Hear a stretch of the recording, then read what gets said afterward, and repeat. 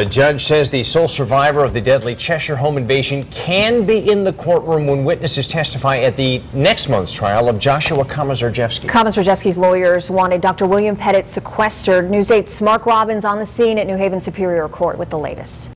Dr. William Petit was a fixture at the first trial of the Cheshire home invasion, and today he was fighting to make sure he'll be there for the second one. He's made the walk so many more times than he cares to remember. This one was critical to his appearance in the courtroom for the upcoming trial of Joshua Komisarjevsky. The defense filed a motion to keep Dr. Petit out of the courtroom. The state office for victim rights wouldn't stand for it. There was an issue by defense whether or not the state had standing to assert a victim's right.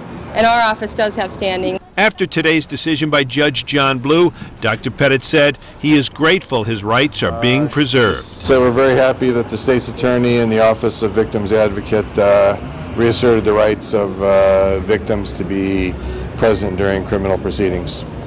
Clear and simple. Dr. Petit is the sole survivor of the 2007 home invasion in Cheshire that took the life of his wife and two daughters. It's definitely a victory for crime victims because they get acknowledged that they, they have a right to, they have certain state constitutional rights and they mean something. Attorneys for Komisarjevsky claim that during last year's trial of Steven Hayes, Dr. Petit made reference to the testimony by other witnesses, and his comments to the press suggested he was seeking revenge.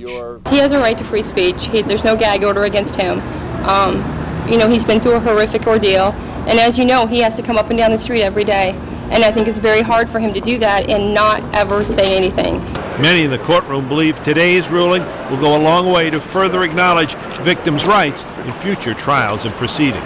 We're hopeful that, you know, as we progress in victims' rights, that, you know, attorneys will understand that victims have a place at the table.